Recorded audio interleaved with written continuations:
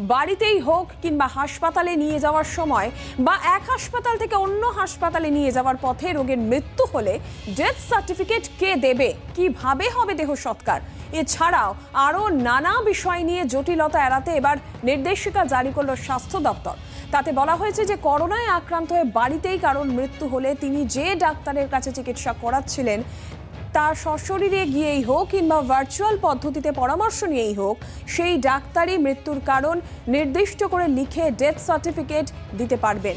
কোনো ব্যক্তি হাসপাতালে ভর্তি থাকলে এবং তাকে অন্য হাসপাতালে স্থানান্তরের সময় মৃত্যু হলে, আগের হাসপাতালে যে চিকিৎসকের তত্ত্বাবধানে তিনি চিকিৎসাধীন ছিলেন, তিনিই ডেথ সার্টিফিকেট দেবেন। এক্ষেত্রে মৃতের বাড়ির লোকজন দেহ সৎকারের জন্য যাদের সঙ্গে যোগাযোগ করবেন, তাও নির্দিষ্ট করে জানিয়ে দেওয়া হয়েছে স্বাস্থ্য দপ্তরের তরফে। এর ফলে মৃতের পরিজনদের অযথা হয়রানির মুখে পড়তে হবে না বলেই আশা প্রশাসনের।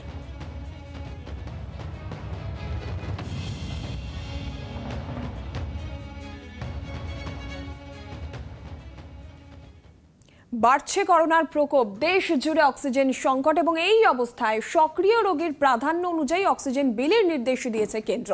একই সঙ্গে অ্যাকশন টেকেন রিপোর্ট এবং স্ট্যাটাস রিপোর্ট চাইলেন কেন্দ্রীয় স্বরাষ্ট্র সচিব। এছাড়া অক্সিজেনবাহী যানকে অ্যাম্বুলেন্সের মর্যাদায় বিশেষ করিডোরে নিয়ে যাওয়ার পরামর্শ কেন্দ্রের।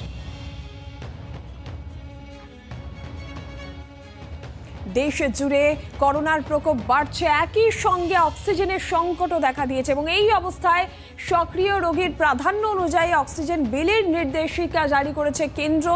যেমনটা জানতে পারা যাচ্ছে যে অ্যাকশন টেকেন রিপোর্ট এবং স্টেটাস রিপোর্ট কেন্দ্রীয় স্বরাষ্ট্র সচিব তিনি চেয়েছেন।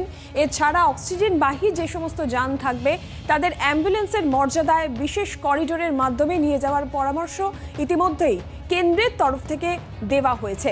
দেশ জুড়ে যে অক্সিজেনের ঘাটতি, অক্সিজেনের সংকট, মৃত্যুর খবর সামনে আসছে বিভিন্ন কোভিড হাসপাতালগুলি থেকে, সেখানে কেন্দ্রের এই সিদ্ধান্তে কিছুটা হলেও সমস্যার সমাধান হবে এমনটাই আশা করছে কেন্দ্রীয় সরকার। সেই জায়গা থেকে দাঁড়িয়ে যে পদক্ষেপগুলি করা হচ্ছে অ্যাকশন টেকেন রিপোর্ট এবং স্টেটাস রিপোর্ট কেন্দ্রীয় স্বরাষ্ট্র সচিব চেয়েছেন।